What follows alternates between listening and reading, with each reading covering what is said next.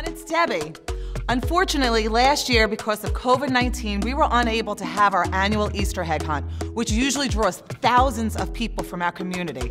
This year, we've come up with a creative way not only to have a lot of fun, but also make sure everybody stays safe, while at the same time, have a chance to learn about the real meaning of Easter.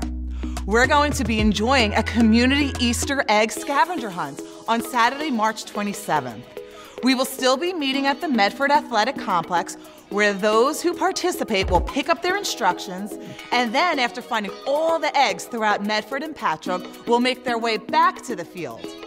So again, on the morning of the 27th, jump in the car with the kids at 10 a.m.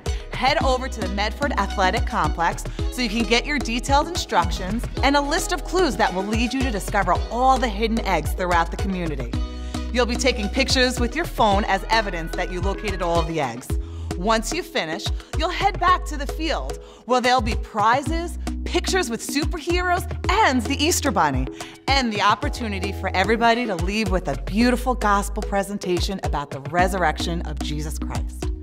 Keep your eyes open for a detailed flyer, which will have times and further information, and you can hand that out as an invitation to your friends in the community.